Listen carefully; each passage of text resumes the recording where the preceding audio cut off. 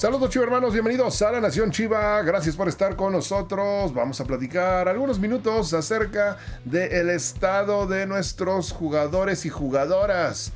Porque eh, todavía no hay parte médico de muchos de ellos, sin embargo hay versión oficial ya sobre el estado de algunos de nuestros lesionados, así que vamos a platicar de ello, quienes ya estarán disponibles para los partidos en el caso del equipo varonil contra Mazatlán del día sábado, pero antes, el día viernes nuestro equipo femenil va a jugar de visita contra las de Tigres, visita complicadísima y también ahí tenemos algunas bajas. Bueno, si les parece, vamos a iniciar con el, reporte de nuestro equipo femenil. Se acordarán que en el partido eh, pasado Jocelyn Montoya sufrió por ahí un eh, esguince, al menos en, pantalla parecía una doble falseada porque primero el tobillo derecho, luego el izquierdo, los dos se le doblaron en la misma jugada, cuando la intentaron eh, restablecer la pusieron de pie, se dobló no pudo continuar, se tiró y tuvo que salir de cambio. ¿Cuál es el reporte de Jocelyn? Eh, todo indica que es un esguince de tobillo grado 1 del tobillo derecho nada más. Teníamos algo de preocupación porque les decía, en la misma jugada se le doblan los dos tobillos. Primero uno, luego el otro. No se pudo poner de pie. Eh, ayer ya lo reportaba Fernando Yacardi. Únicamente eh, esguince de tobillo, grado 1. Es posible que aún así ella no tenga participación en el equipo de Tigres. Y esto sí nos preocupa un poquito porque eh, no sería nuestra primera lesionada del equipo femenil. Se acordarán que desde el partido pasado no pudo jugar Rubí Soto.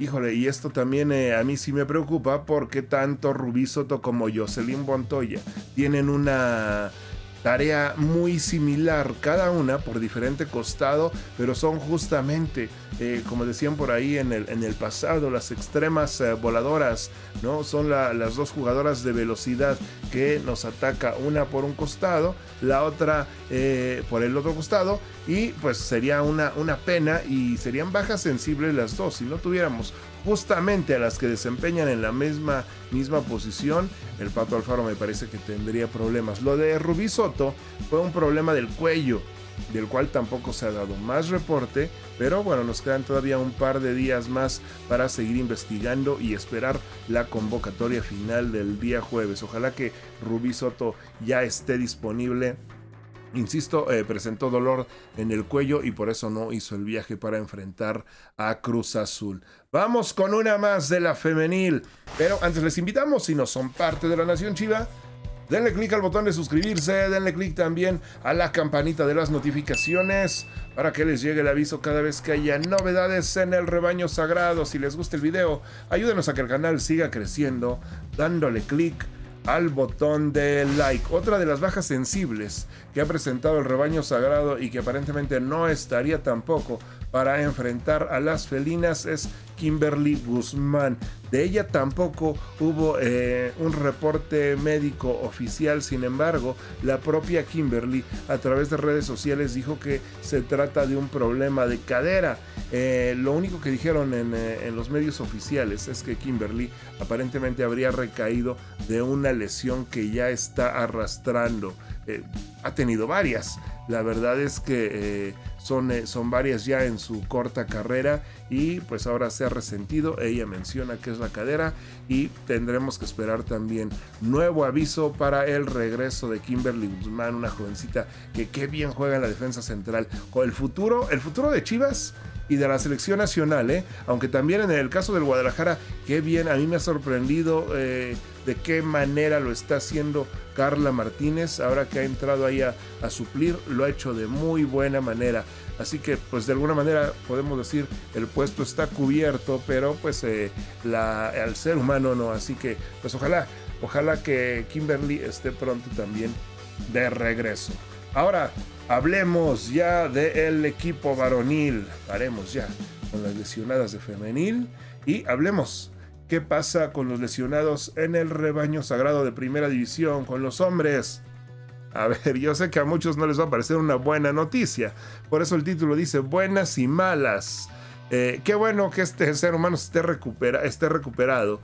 Pero yo no sé qué tanto le puede aportar a Chivas. Daniel Ríos ya estará listo para enfrentar a Mazatlán.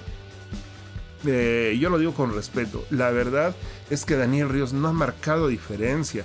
Por ahí de la jornada 6, 7, recuerdo Paunovi que dijo, apenas está en su punto físico, apenas es como si estuviera concluyendo la pretemporada porque no hizo pretemporada con nosotros. Bueno, de las 6 a la 16 ya pasaron 10 fechas más y no se ve, no se ve la labor de, Ríos, sobre todo la labor que eh, pues la prioridad de un centro delantero es marcar goles.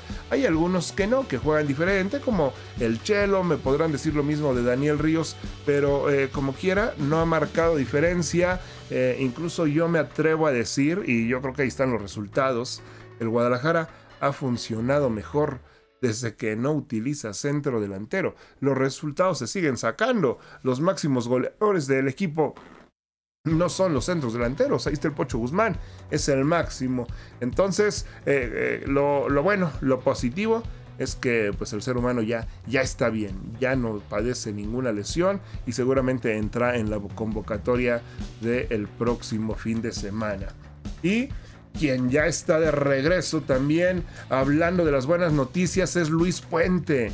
Eh, tuvo participación, jugó algunos minutos, poco menos de, 30 minutos, lo que disputó Luis Puente el pasado fin de semana con la sub-20, eh, que por cierto empataron con eh, Cruz Azul, empataron a cero, pero de lo positivo, tuvo participación Luis Puente, se ha recuperado de su lesión, lo van a igual a llevar poco a poco y pues bueno, de momento ya se cuenta con él. Seguramente lo integrarán ya al trabajo de El Tapatío. Y también una buena noticia para el primer equipo, vaya que tenemos lesionados. Es la del Piojo Alvarado, que ya está de regreso esta semana y ya va a trabajar al parejo de sus compañeros, así lo, eh, lo comentaron ya va a realizar las labores eh, con normalidad y dependerá de eso, de ver cómo está eh, en su estado físico, sobre todo, y checar nada más que no se resienta. Recordarán que por eso es que no viajó con la selección nacional, aunque por ahí se especulaba que había sido un pretexto para no prestarlo, pues bueno, quedó claro en su ausencia eh, en el partido pasado. Ahora el Piojo ya está de regreso esta semana va a trabajar y podría ya estar disponible para el próximo partido. Bueno, chivermanos, un reporte de todos los lesionados. Por ahora es todo. Gracias por vernos. Hasta el próximo video de La Nación Chiva. Si te gustó este video, ayúdanos a compartirlo.